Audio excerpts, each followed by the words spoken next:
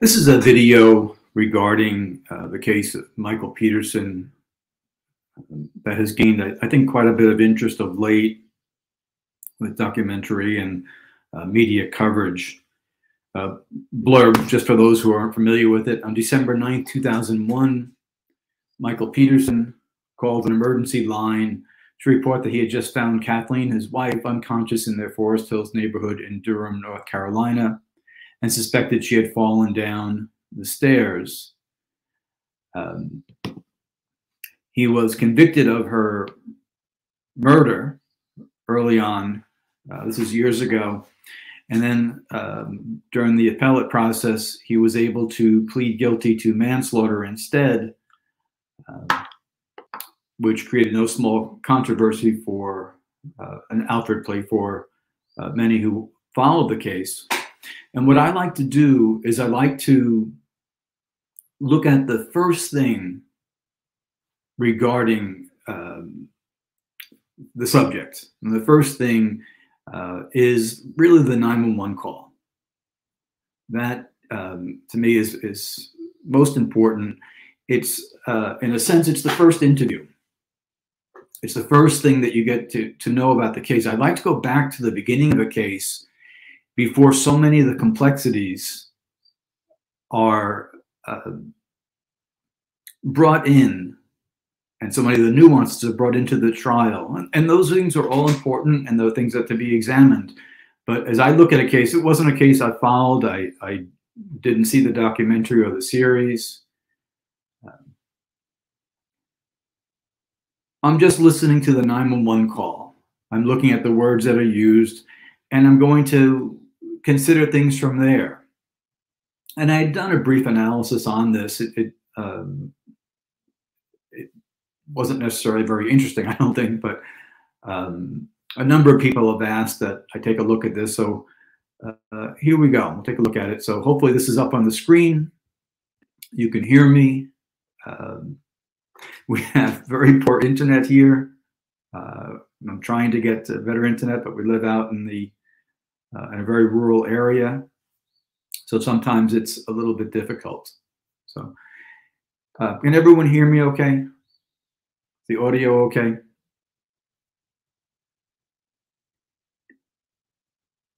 Good. So here we go. Michael Peterson called 911 at 2.40 a.m. on 9 December 2001 he's going to find that his wife has fallen down the stairs.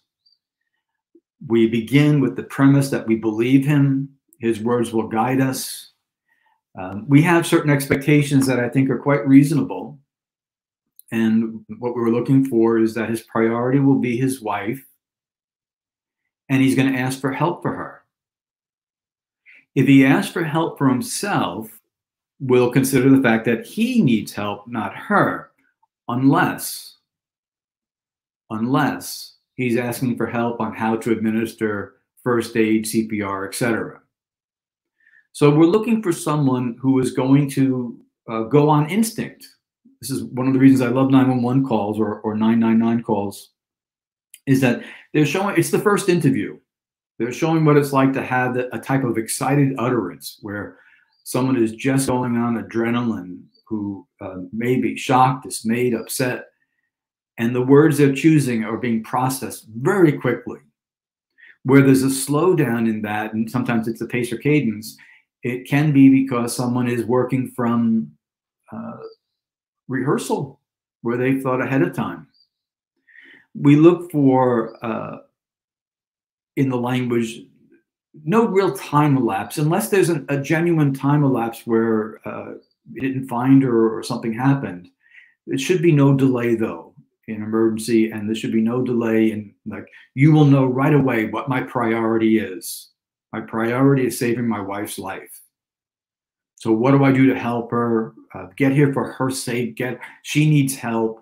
That sort of thing. Just things that the brain is going to say, uh, along with shock and oh my god and um, all the other horrors that you can possibly imagine. So the question is, does he reliably report what happened in this emergency call which would then lead us to say prosecution, police investigators and prosecution got it right. Uh, and has it been uh, under the influence of Hollywood that may have persuaded people otherwise? So I'm looking at the call, and, and that's all I'm looking at at this point. I've not seen documentaries or shows or anything like that. Um, I'm just going by the words here of a typical emergency 911 call knowing what they should look like and knowing what they look like uh, in the, a huge database. 911, Durham 911, where is your emergency? So this should give the address because I want help. He begins with a pause. Uh, and at any given point, I'm, willing to dismiss something from him, but the address should be known of your home and you should be on that type of high alert. I did wonder if he was expecting what is your emergency rather than where, but he, it comes with a pause. I, yeah, I'm going to take note of it wherever it shows up. Uh, 1810 Cedar Street, please, please, please what? What's wrong? This is a good question. What's happened? My wife had an accident she is still breathing. Okay, I don't fault too much that we don't have her name here, uh, but he has gone to the conclusion of the matter first, and this this concerned me right off. My wife had an accident. It is to tell police, that's who he's speaking to, that it's not his fault or anyone else's fault. She had an accident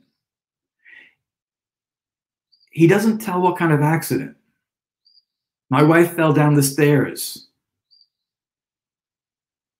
My wife had an accident will indicate that a certain amount of time has passed that he knows the conclusion of the matter. Or he saw it that she had an accident. My expectation was my wife fell down the stairs. She's bleeding. She's this, she's that.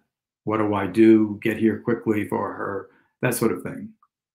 But my wife had an accident, doesn't tell police what kind of accident. She is still breathing. And this um, was very concerning initially because this is the first thing that he's saying. And the first thing he's saying is, I'm not telling you what happened to her. She had an accident. Is it a car accident? Did she fall outside?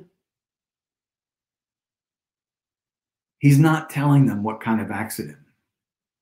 So in 911 calls, regardless of the personality of both the caller and the operator, we look for one of two impressions. Either the caller is working to facilitate the flow of information to get help or not. Or not. And we've seen some calls, and, and they were guilty callers who painfully avoided giving detail. And others who also were guilty callers gave so much detail that was unnecessary. But we want to hear him initially but the first thing on his mind is say what happened to his wife. So this is the conclusion of the matter is that what happened is not my fault. It was an accident. It wasn't intentional.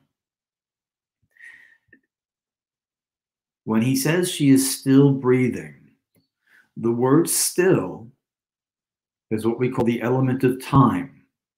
He is telling the operator, whether he realizes it or not, that time has elapsed while he's observed the breathing. If this is all I had, I would red flag it and say, uh oh, this doesn't look good. He's gone to the conclusion and time has passed. I would look as an investigator for a delay in making this report. Now, I don't even know if this is true. I want to believe everything he says, but I'm not even sure this is true. It's that unusual. If he had been working on her and trying to get her he, uh, before calling 911, time would pass. He'd have to tell me that. Was he was he waiting for her to expire?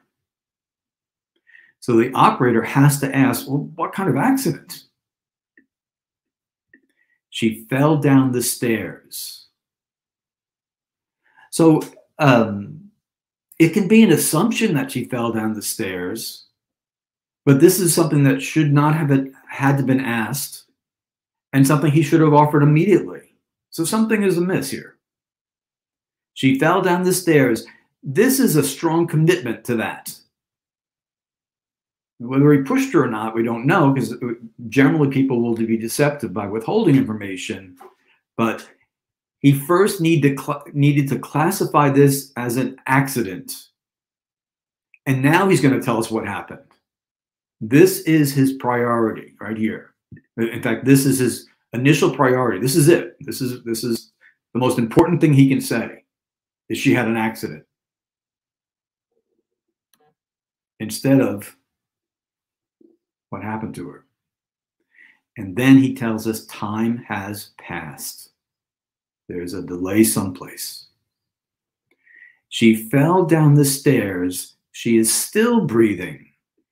He literally doubles up on the passing of time, which tells us significant time has passed before this call.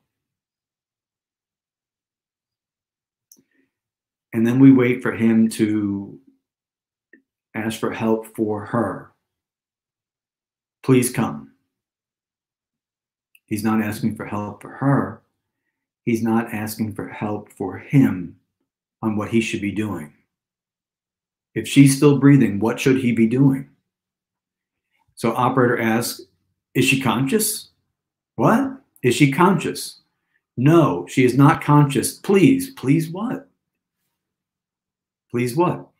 And we look at, at ingratiation where uh, someone may use very polite language to psychologically make friends or make peace with law enforcement where it's not necessary for an innocent person to do so. Some people are overly polite and, and uh, even under emergency, they might use the same language, but it is something that we take notice of and we combine that notice with other things that are going on. So I have someone that wants to make sure that police know it was an accident who's being really polite. He's not making demands. He's being polite. He's being polite. While his priority statement, the first thing out of his mouth is going to be, You can't blame me because it was an accident. How many stairs did she fall down? And this is a good question because this will now guide the operator on what type of understanding what kind of injuries that have been caused, what first aid to administer. Is she bleeding? Where is she bleeding from?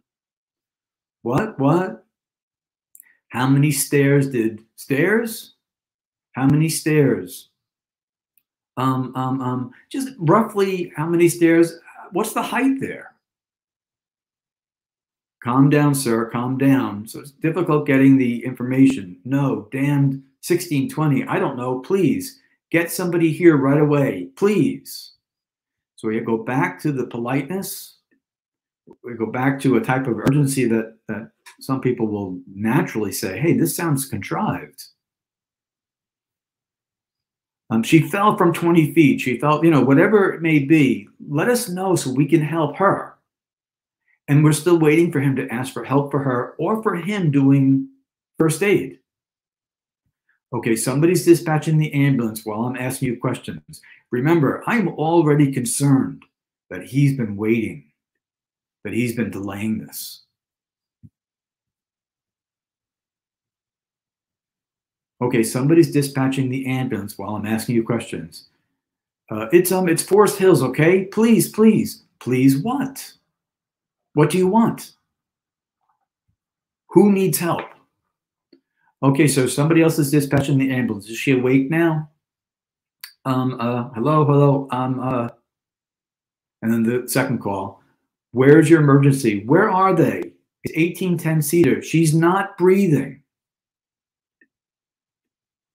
And so over the passage of time, it's no longer still. She's not breathing now. Please, please, would you hurry up? So the politeness under such an extreme circumstance is repeated. And that's why we're looking at the ingratiating factor. Don't see me as the enemy. Don't see me as a suspect. It was an accident. And I'm really a polite person. And this is where the, the brain just gives out the information that we seek. He should have been screaming at them. Tell me what to do. Where is she bleeding? What happened? These are all things that had to be asked of him that he wasn't offering. Sir, can you hear me? Sir, yes. Sir, calm down. They're on their way. Can you tell me, sure she's not breathing? Sir, hello, hello.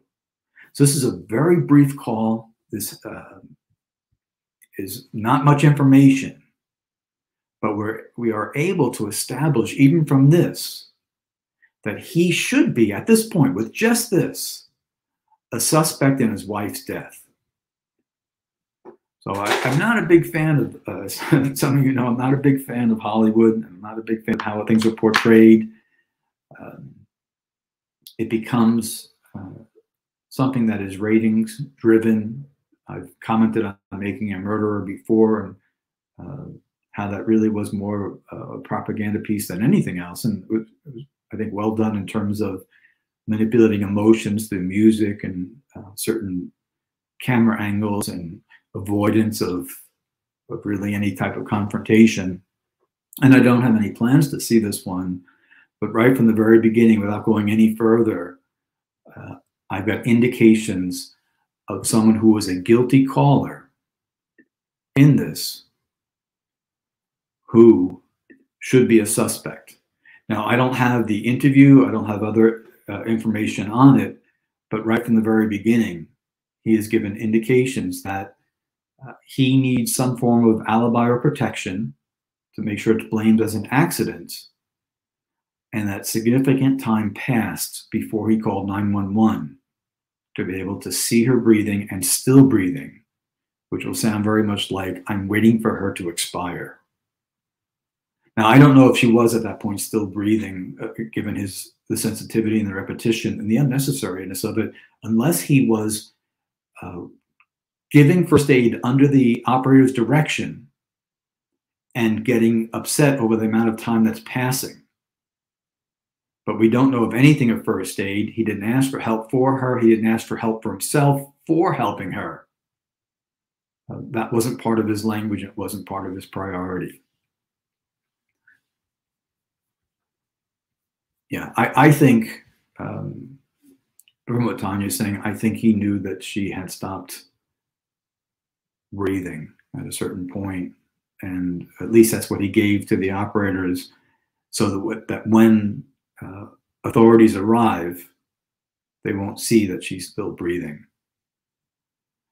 So it, it's quite um, plain in the analysis, although very short, that police had the right suspect uh, uh, initially on.